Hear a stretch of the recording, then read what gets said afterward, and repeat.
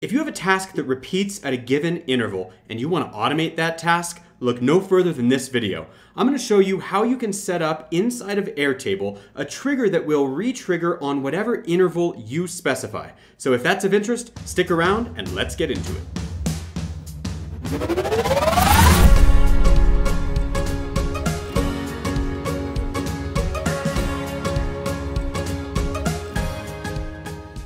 Welcome back to the channel. If you're new here, my name is Gareth. I'm the owner at Gap Consulting, and we make it our mission to help you automate the bullshit. We do that using no-code tools to automate repetitive tasks that you would otherwise do, and now they can just be done in the background without you having to spend effort and energy on them. If that's of interest and you want to learn the fundamental building blocks of automation, look no further than my free automation training. You can check that out at garethpronovost.com slash webinar dash registration, and it's going to teach you the building blocks of automation so that you can start implementing this in your day-to-day. -day. But without further ado, let's hop into the heart of this video. We're talking about putting together a trigger in Airtable and then a subsequent automation so that something inside of our workflow can re-trigger on a given interval of our specification. Let's go ahead and hop on into my screen and we're gonna build it from scratch. I have just a blank table here that I just started. I'll start off by deleting these excess fields, getting rid of the other fields that otherwise start in this blank template. So I have a name here, and this is where I can bring in whatever I'm gonna call this particular trigger. Let's suppose for our example that we wanna send a message to Slack every 30 days. So whatever that message is, I can say message number one. So I'm just giving a name to the record at this point. I'm gonna delete the second and third records. I'm only gonna do this one time, at least for now. And then of course, leave it up to you to include this methodology, recreate it for yourself so that you can add as many different repetitive tasks that you need. So now that I have the name, let's choose a frequency. And the best way, in my opinion, to do this is to actually give us a dropdown. So in this case, I'll give us a single select field type and we're gonna call it uh, frequency. And we're gonna use the single select, as I mentioned, and you can add as many different single select options here as you'd like. Maybe you'll need some automations to retrigger every 30 days, maybe some every two weeks, maybe some on every six months. Whatever that frequency is, go ahead and put that out here. I'm gonna list my first frequency as 30 days because I want this message to hit my Slack channel every 30 days like clockwork.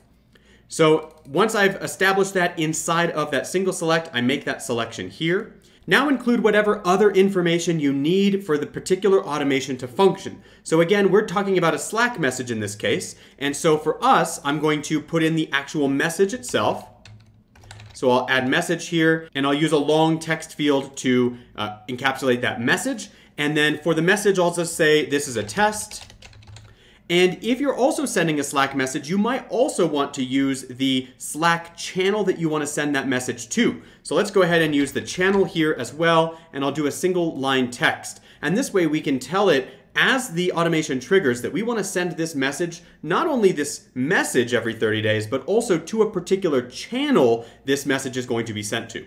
So I can go ahead and set up a single select here, and we can fill out the channel when we're ready in a minute. Now what we want to do is have a value in here that shows us the last date that this automation triggered.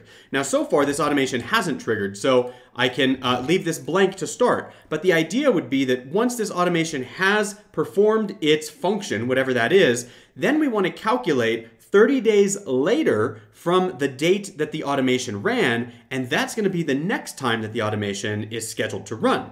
So let's plug a fake date in here. Let's imagine that 30 days ago from today, this automation ran. You can see here that I'm actually filming this on August 28th.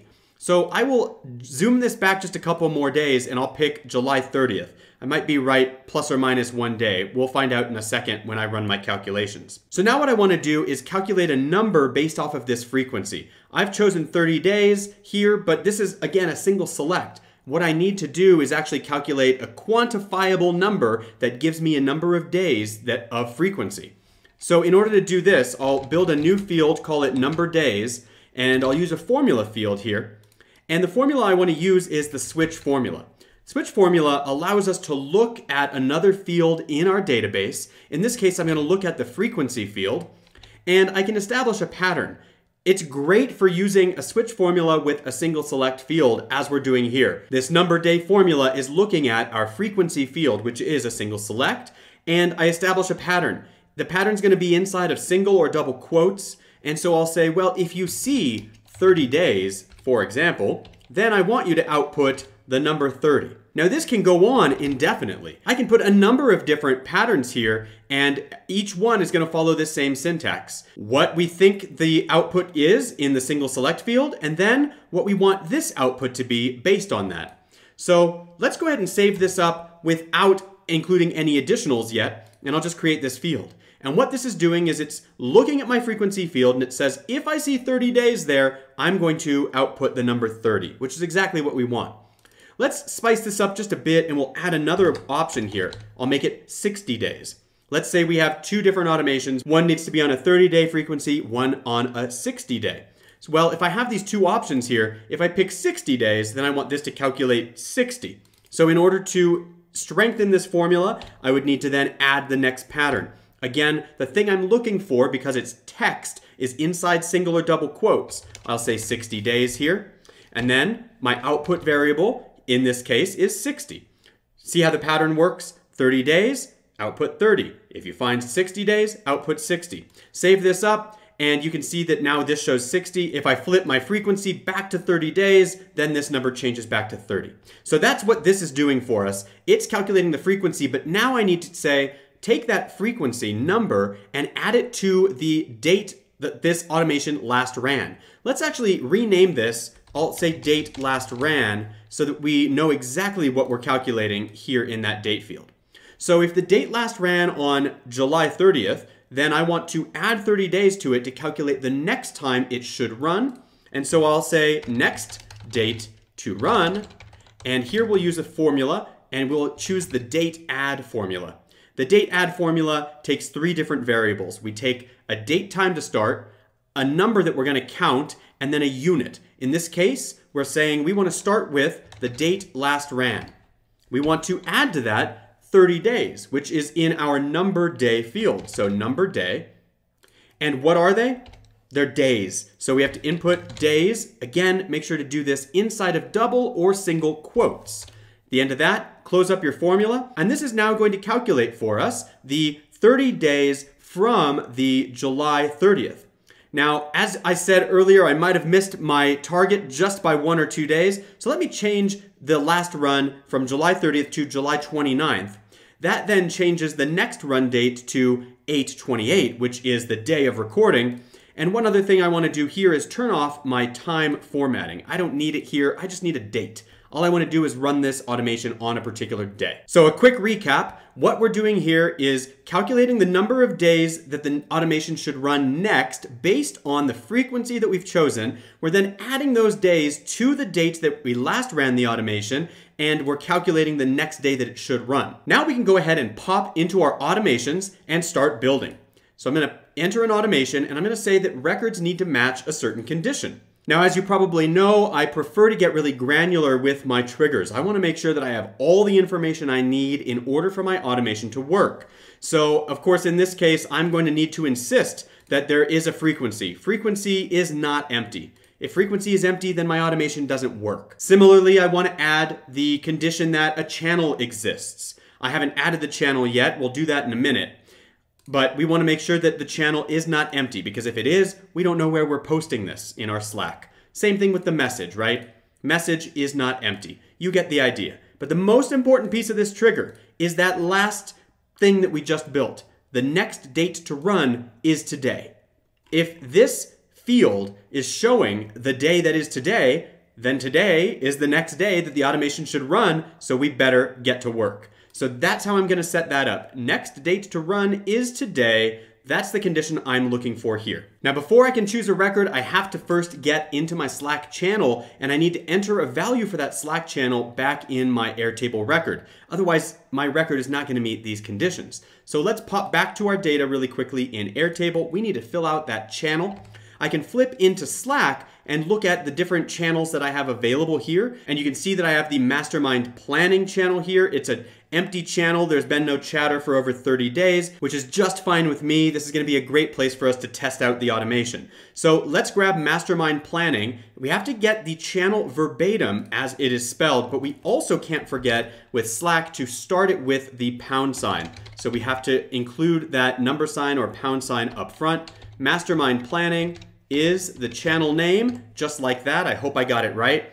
Let's go ahead and test this automation and see how it works. We're gonna build that trigger again. Now we're gonna choose a record and see if something meets these conditions and we see that it in fact does. Because today, the date of filming is equivalent or equal to the next date to run. So there it is, message number one. Let's see what we can do with this. First, I'm gonna send a Slack message. I'm gonna send that message to Slack. What's the Slack account? Pick your Slack account if you're on multiple Slacks, no problem. Here's where we're gonna select the channel. And in this case, I want the channel to be dynamic because if I wanna update that automation in the future, I don't want it to be directly mapped to the mastermind planning channel. So instead, I'm going to bring in dynamic elements here by making this switch, and I can include the channel that I found here in my trigger. So this is where I called out the channel that I'm gonna be posting this particular message to. There it is. What's the message? Similarly here, I need to bring in that dynamic data, hit that plus sign, scroll on down to the message inside of our test record here. And of course you see the message says, this is a test. Let's grab that message. And if you want to give it a bot name, you can do so. If you want to include a bot icon, these are optional. You don't have to do these things. If you also want to unfurl the links or not inside of Slack, you can make that choice. Let's go ahead and just run this as configured and give it a test. We see it successfully ran, but I'm gonna flip now into Slack just in time to see that yes, I did receive that test message. So the message worked perfectly. It went to the right channel, Mastermind Planning, and everything's looking really good here. Now, the last piece we need to do is update this record in Airtable so that the automation knows that it needs to run again 30 days from now. So how do we do that? Well, let's flip back into our automation, clear this particular message and add an action step. We're going to update the record in Airtable that triggered the automation.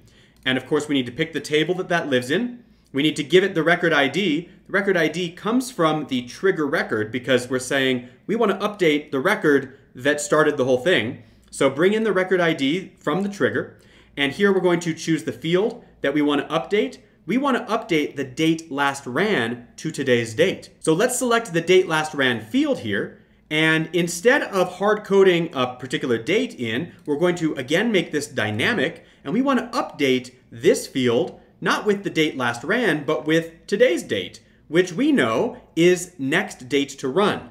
If you recall, this automation will only trigger if next date to run is equal to today. So we can use this date right here and plug it in.